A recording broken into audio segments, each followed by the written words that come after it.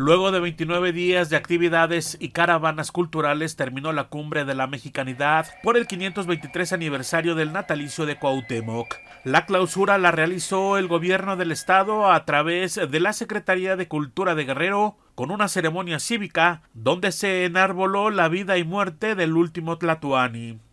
Cuauhtémoc es un ejemplo para los guerrerenses, nos da identidad. Por tal motivo tenemos la firme instrucción de la maestra Evelyn Salgado Pineda, gobernadora del estado, para rendir honores a su grandeza y en nuestras nuevas generaciones siga trascendiendo su legado. Amigos y paisanos todos, los invito a comentarle a todo el mundo que visiten este pintoresco pueblo, nuevo pueblo mágico y caminen por estas hermosas calles empedradas con mármol y conozcan la cuna de la mexicanidad. En tanto, la alcaldesa de Ixcateopan, Nauselia Castillo Bautista, refrendó la importancia de Cuauhtémoc en la historia de México.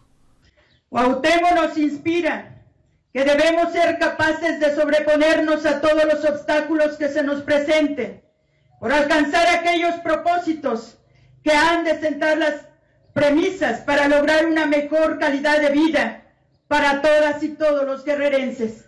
Posteriormente, las autoridades estatales y municipales realizaron una guardia de honor en el mausoleo donde yacen los restos de Cuauhtémoc en el interior del templo de Santa María de la Asunción en Ixcateopan. RTG Noticias, Raimundo Ruiz.